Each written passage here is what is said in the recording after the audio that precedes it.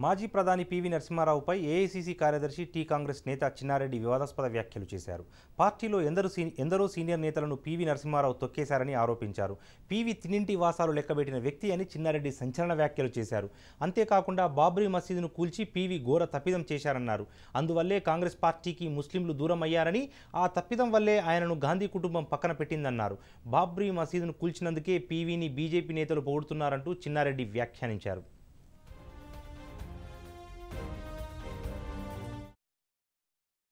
హైదరాబాదుకు తిరుగుబాటు పట్టినటువంటి పివి నరసింహరావు గారిని సోనియా గాంధీ గారు ఢిల్లీకి పిలిపించి అందరినీ ఒప్పించి వారు ప్రధానమంత్రి కూడా చేయడం జరిగిందనేటువంటి మాట కూడా మీతో మనం చేస్తున్నాను కానీ రాజకీయంగా పివి నరసింహరావు గారు సోనియా గాంధీ గారు కాంగ్రెస్ పార్టీ ఏ కుటుంబం అయితే వారు ప్రధానమంత్రి కావడానికి సహాయపడ్డదో అదే కుటుంబాన్ని అనగదొక్కే ప్రయత్నం వారు చేయడం జరిగిందనేటువంటి మాట కూడా మీతో మనం చేస్తూ ఉన్నాను అంటే కింటింటి వాసాలు లెక్కబెట్టినట్టుగా ఉన్నది వారి వ్యవహారం అనేటువంటి మాట కూడా నేను మనం చేస్తూ దాని తర్వాత ఇంకో గొప్ప తప్పిదం పివి నరసింహరావు గారి హయాంలో జరిగింది ఏమంటే బాబ్రీ మసీద్ కూల్చివేత.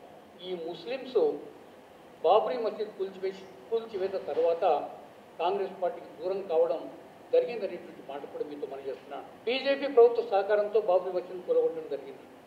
దానికి పివి నరసింహరావు గారు సహకరించారనే భావన ఇవాళ బీజేపీ పార్టీకి ఉంది. ప్రధానమంత్రిగా మోడీ గారికి ఉంది కాబట్టి పదే పదే పివి నరసింహరావు గారిని పొగుడుతూ ఉన్నారు కాంగ్రెస్ పార్టీతో తక్కువ చేస్తూ ఉన్నటువంటి మాట వారు మాట్లాడడం జరుగుతూ ఉందనేటువంటి మాట కూడా మీతో పనిచేస్తున్నాను